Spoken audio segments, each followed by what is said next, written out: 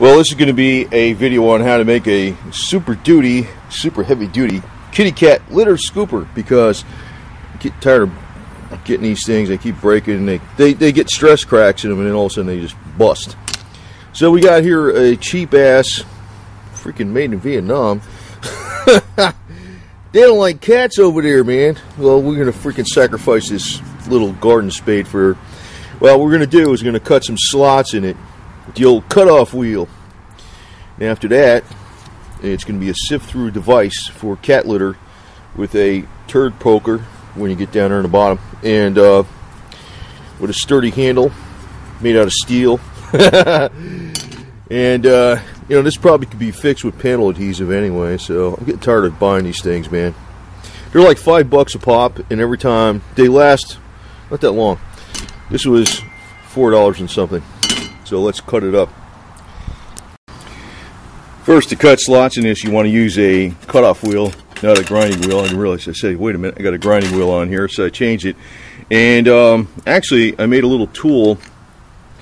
You need a real thin uh, wrench to fit on there. Kind of, oh, this is I don't know, this is some kind of junk wrench for bicycles or something. I don't really know. Found it in here. Used my Dremel tool, opened it up just a hair, and uh, fits on there perfect. So that holds that in place while you unscrew this locker. That locker is comes off with this tool, and that's how you change the wheel. And this tool stores in the handle right here. Look, it just goes right back in the end of the handle. So now we're going to start cutting this thing up um, with the cutoff wheel because it'll go a lot faster. Now you see I used up a whole cutting wheel, which is a little over a dollar. and uh, I'm going to go to the grinding wheel, touch that up, probably open those up a little bit, a little bit more, and um, we're going to finish coat it. Okay, the slots are, you can see they're about as big as the other ones. You see that good. Just as good a size as the other ones. It's not as quite as big, but it don't need to be because it's strong. and it's got one of them turd breaker pokers you get on the bottom of the litter pan. So high performance, man. Next, we're going to give it a coat of this Rust-Oleum Rust Reformer. Oxidize and ref you know there's no rust on it anyway but it makes it into a protected paintable surface. It'll look nice with nice uh, flat black color. Maybe I'll put some professional silver over it too. Well we're going to put some Rust-Oleum professional high performance uh, enamel over that. Um, and uh, that'll be the finished product and we'll be testing it out.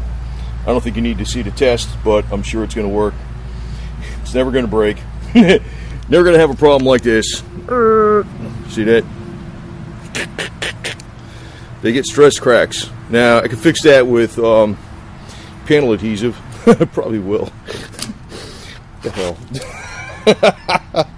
But this is gonna be my that'll be my backup scooper. This will be my main heavy duty three cat turd three three tur three cats worth of turds scooper upper. So performance enamel on there now. Well there you go. She's a beauty.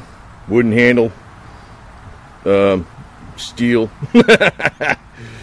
You know made in Vietnam where they don't like cats but we modified this so it'd be cat friendly. Um, so ready to uh, for action man. Your your super heavy duty uh, high leverage um, high impact you know deep dig cat litter scooper so there you go a product they should make, but maybe I'll, hey, maybe I'll sell them on eBay. I don't know. No, I'm just kidding. But uh, that's how you make one.